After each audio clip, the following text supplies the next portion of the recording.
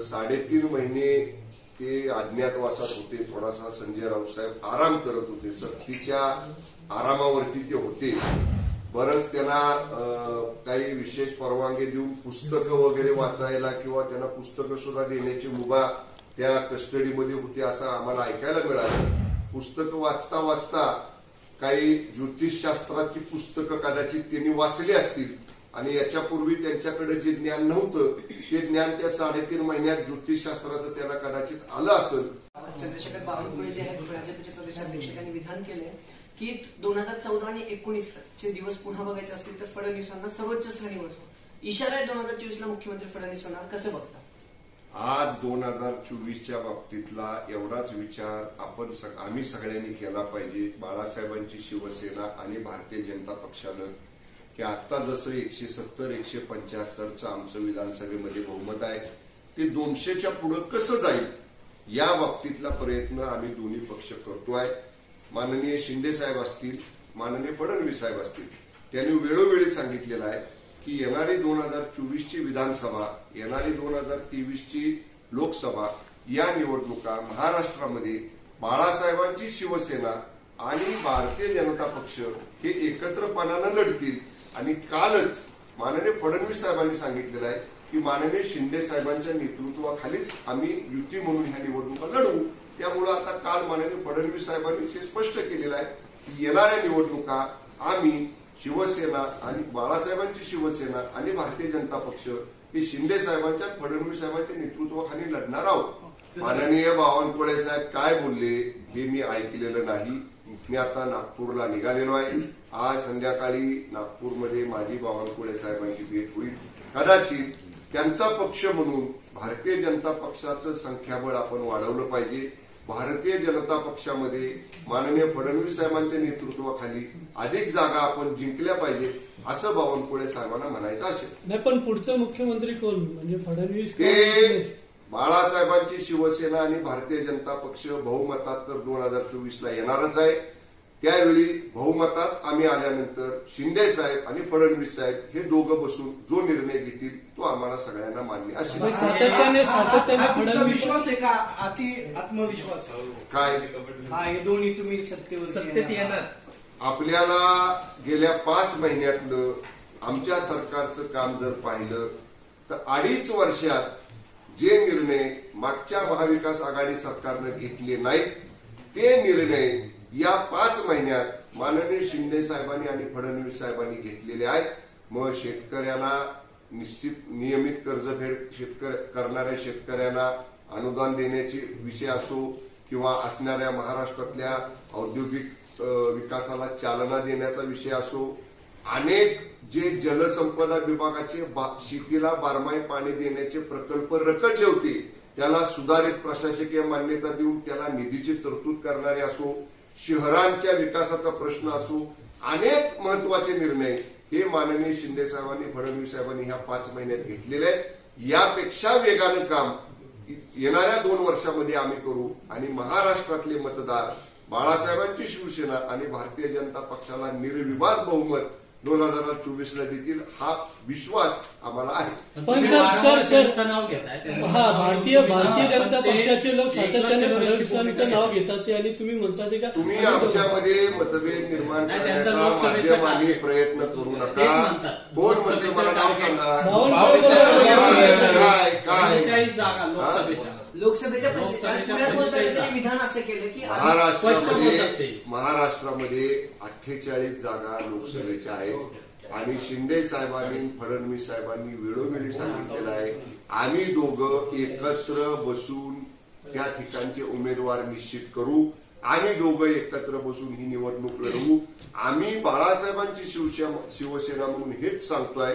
शिंदे साहेब आणि फडणवीस साहेब या बाबतीतला अंतिम निर्णय घेतील. असं वेगळी भूमिका घेतली त्यांना दोन हजार संध्याकाळ नकोच आहे का? रिझल्ट माध्यमाने किती जरी तो प्रयत्न केला आम्ही नाही हो विनाकारण एखाद्या वक्तव्याला वळण देण्याचा प्रयत्न करू नका. मी परत परत सांगतोय एका दिवसानं काय परिणाम होत नाही. मी रात्री चाललोय मुंबईत नागपूरला. बावनकुळे साहेब माझे चांगले मित्र आहेत. त्यांची माझी संध्याकाळी भेट होईल त्यांची माझी चर्चा होईल. आपल्या नागपूरच्या प्रतिनिधींना सांगा उद्या माझी भेट घ्यायला.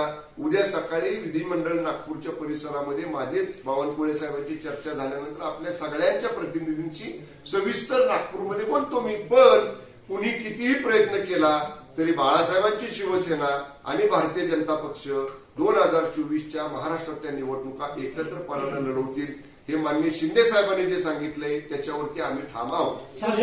पाय उतार होईल फेब्रुवारी मध्ये असं संजय मला असं वाटतंय की साडेतीन महिने ते अज्ञातवासात होते थोडासा संजय राऊत साहेब आराम करत होते सक्तीच्या आरामावरती ते होते. बरंच त्यांना अं, काही विशेष परवानगी देऊन पुस्तकं वगैरे वाचायला किंवा त्यांना पुस्तकं सुद्धा देण्याची मुभा त्या कस्टडीमध्ये होती असं आम्हाला ऐकायला मिळालं.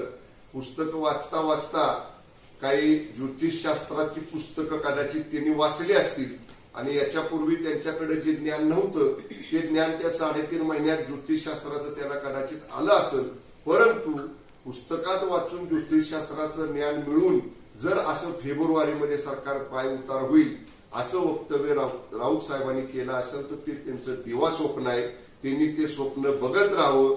कधीही राऊत साहेब जे म्हटले तसं होणार नाही. आम्ही अनेक वेळा सांगितलंय एकशे सत्तर प्लस आम्ही होऊ पण एकशे एकोणसत्तर आम्ही होणार नाही हे वेळोवेळी आम्ही सांगितलेलं आहे. राऊत साहेबांना ह्याचा प्रत्यय पुढची दोन वर्षामध्ये येईल. सर संजय राऊत दिल्लीत असतात. मुख्यमंत्री वारंवार दिल्लीत जातात. आता त्याच वर्ण जो सीमावाद चालू आहे त्यावरती विधान करताना संजय राऊत असं म्हणाले की दिल्लीत मुख्यमंत्र्यांना म्हणजे शिंदे साहेबांना गुंगीचं औषध दिलं जातं फडणवीस त्यामध्ये पुढे आहेत. काय दिल्लीतून आणि या तुम्ही सीमावादावर कशाला राऊतांच्या वक्तव्याला एवढं महत्त्व देता हो? सीमावाद ते माहिती- बोलतात सीमा- ना, सीमावादाची सीमावादाचा विषय अहो, तुम्ही महिना- चालू ऐका. तुम्ही कर्नाटकमध्ये ऐका. गेले त्यांना बोलू दे त्यांना बोलू दे. हा तुम्ही बोला. महिना झाला आराम करून संजय राऊत साहेब बाहेर आले. आमचं सरकार येऊन पाच महिने झाले. म्हणजे एकूण आमचं सरकार आल्यानंतर इनमिन महिना दीड महिना संजय राऊत साहेब खुल्या वातावरणामध्ये आहेत. त्यामुळे दिल्लीत काय घडतं कोण काय करतं हे अनुमान अंदाज बांधायचं काम. अंधारामध्ये तीर फेकण्याचं काम संजय राऊतजी करतायत. त्यांच्या वक्तव्याला आम्ही तरी फारसं महत्त्व देत नाही. शिंदे साहेब हे काम करणारे नेते आहेत. मला या उलट संजय राऊतजींना प्रश्न विचारायचा आहे. तुम्ही सांगताय की माननीय एकनाथजी शिंदे साहेब दिल्लीला येतात आणि काय त्यांना कशा पद्धतीनं काय तुम्ही वक्तव्य केलं ते आम्ही बोलणार सुद्धा नाही. पण तुमचे नेते तुम्ही ज्यांना आता उद्धवजी साहेब नेते म्हणता ते अडीच वर्षात किती वेळा दिल्लीला आले सीमा प्रश्नासाठी? किती वेळा दिल्लीतल्या केंद्रीय गृहमंत्री महोदयांना भेटले? किती वेळा सीमा प्रश्नासाठी असणाऱ्या महाराष्ट्रातल्या उच्चाधिकार समितीची बैठक घेतली? किती वेळा हा प्रश्न चर्चेतनं सोडवावा म्हणून केंद्रानं मध्यस्थी करावी अशा पद्धतीची मागणी केली? तुमच्या नेत्यांनी अडीच वर्षात काही केलं नाही. तुम्ही ज्यांचे तुम्ही तुमचे जे नेते आहेत जे मुख्यमंत्री होते त्यांनी काही केलं नाही या उलट या साडेपाच महिन्यात मी मगाशी सांगितलं तसं हा प्रश्न चर्चेतनं सोडवण्यासाठी दोन्ही राज्यांच्या मुख्यमंत्र्यांना केंद्रीय गृहमंत्री महोदयांनी समोरासमोर बोलवलं चर्चा केली आणि हा प्रश्न सामंजस्यानं चर्चेतनं संघर्ष न होता हिंसाचार दोन राज्यात न होता सोडवण्यासाठी एक पाऊल पुढे केंद्रानं टाकलेलं आहे. मग हे हे सुरू झालं ना याच्या आधी थोडं होतं. आता- सुरू तुम्ही झाला. आणि राहणार राहणार होते हा वाद साहेब आजचा नाही. हा पन्नास वर्षापासून वीस वर्षापासून जरी असलं तर आता लेटेस्ट आम्ही सोडवायसाठी प्रयत्न करू. हा असाच भिजत ठेवायचा का? तुमचं ते म्हणणं आहे का? हा आता ऐका ऐका माध्यमाने सुद्धा थोडस चांगलं जे काम चाललंय त्याला मोठ्या मनानं चांगलं म्हणायला शिका. अडीच वर्ष तुम्ही काही केलं नाही त्या सरकारनं. शांत बसून राहिला. या उलट आता आगे हा प्रश्न सोडवण्यासाठी मरा मला एका प्रश्नाचं आमच्या समोरच्या लोकांनी उत्तर द्यावं. मराठी भाषिक आठशे साठ पासष्ट गावांसाठी शैक्षणिक सुविधा देण्याचा आपल्याकडं तरतूद होती. आरोग्यविषयक सुविधा देण्याची तरतूद होती. विद्यार्थ्यांना क्रीडाविषयक सुविधा देण्याची तरतूद होती. दोन हजार वीस सालापासून ह्या तरतुदी का बंद झाल्या? दोन हजार वीस सालापासून आता दोन हजार बावीस पर्यंत काय एकाही व्यक्तीला ह्यातली मदत मिळाली नाही. जे मुख्यमंत्री मागचे अडीच वर्ष होते जे उपमुख्यमंत्री मागचे अडीच वर्ष होते त्यांनी याच्या बाबतीत काही निर्णय घेतला नाही. जेव्हा उच्चाधिकार समितीची उच्चस्तरीय समितीची मुंबईमध्ये अडीच तास फडणवीस साहेबांनी शिंदे साहेबांनी बैठक घेतली हा विषय पुढे आला. दुसऱ्या दिवशी त्या ती फाईल बोलवून जे शैक्षणिक मदत आरोग्यविषयक मदत द्यायची होती ती देण्याला तातडीनं परवानगी द्यायचा निर्णय झाला. एवढंच नाही. तर मला आणि माननीय चंद्रकांत दादाला फडणवीस साहेबांनी शिंदे साहेबांनी सांगितलं याच्यामध्ये वाढ काय करता येईल? आणखीन कुठल्या योजना देता येतील? ज्या महाराष्ट्रात देतो आपण त्या आठशे साठ गावातल्या लोकांना कशा देता येतील? याचा प्रस्ताव तयार करा. आणि त्याच्यासाठी आम्ही मराठी भाषिक लोकांशी चर्चा करायला जाणार होतो. एवढं एक एक पाऊल पुढे टाकतोय त्या अडीच वर्षात तर तुम्ही पण मंत्री होते ना. आम्ही जरी मंत्री होतो. ऐकून घ्या. ऐकून घ्या. आम्ही आम्ही राज्य आम्ही राज्यमंत्री होतो. मी नम्रपणाने ह्याच्या आधी अनेक वेळा सांगितलेलं आहे नाम मात्र राज्यमंत्री त्या काळातले सगळेच होते. विधानसभेतली प्रश्न उत्तरं देणं विधानसभेमध्ये उपस्थिती दाखवणं या व्यतिरिक्त राज्यमंत्र्यांना त्या अडीच वर्षात कुठलेही अधिकार दिलेले नव्हते. सर हिवाळी अधिवेशन उद्यापासून सुरू होते. काय सरकारचा पूर्ण थांब, अजेंडा त्यांनी असणार? उत्तर दिलंच नाही. तुम्ही परत कधी जाणार आहात बेळगावला हा. आम्ही लवकरच अधिवेशन आता उद्यापासून चालू होत आहे. सीएम साहेबांची डीसीएम साहेबांची मी आणि माननीय चंद्रकांत दादा चर्चा करणार आहोत. आणि चर्चा केल्यानंतर याच्यावर आम्ही पुढचा निर्णय घेऊ. सर हिवाळी पण मंत्रिमंडळ आपण हा प्रश्न माननीय मुख्यमंत्री महोदय माननीय उपमुख्यमंत्री महोदयांना विचारला अधिक बरोबर मंत्रिमंडळ विस्ताराबाबत मंत्रिमंडळातले मंत्री बोलू शकत नाही ओके? धन्यवाद.